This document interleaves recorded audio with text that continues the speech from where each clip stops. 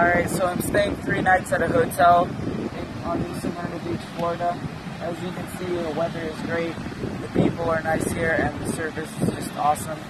I did it all on bookvip.com. It's really easy. You just sign up, and they do most of the work for you. So if you ever want a good vacation with a low price, or you just want to stay at a hotel for a low price, remember, go to bookvip.com.